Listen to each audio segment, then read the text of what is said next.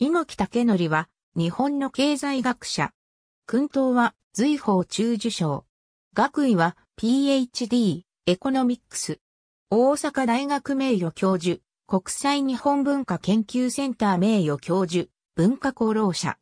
名の、イサオには、JISWEX0208 のコードが割り当てられていないため、新字体で、猪木武則とも表記される。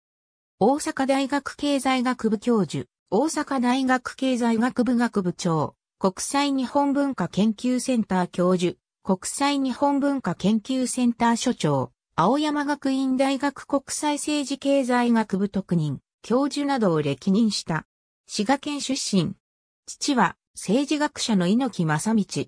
落成高等学校、京都大学経済学部卒業。米国マサチューセッツ工科大学大学院修了。大阪大学経済学部教授、学部長を経て、2002年より国際日本文化研究センター教授。2008年、同所長。日本学術会議会員。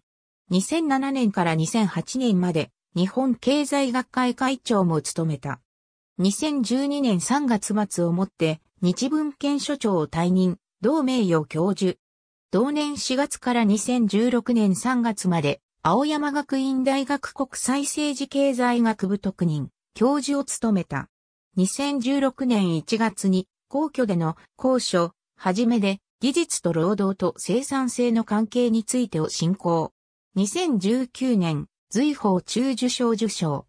本名は、猪木武則であり、文化功労者憲章に際しての文部科学省の発表でも、武則と表記されている。ただ、ナノ、イサオアジス X0208 のコードが割り当てられていない文字であるため、新字体の特で代用して、猪木武則と表記される場合も多い。ありがとうございます。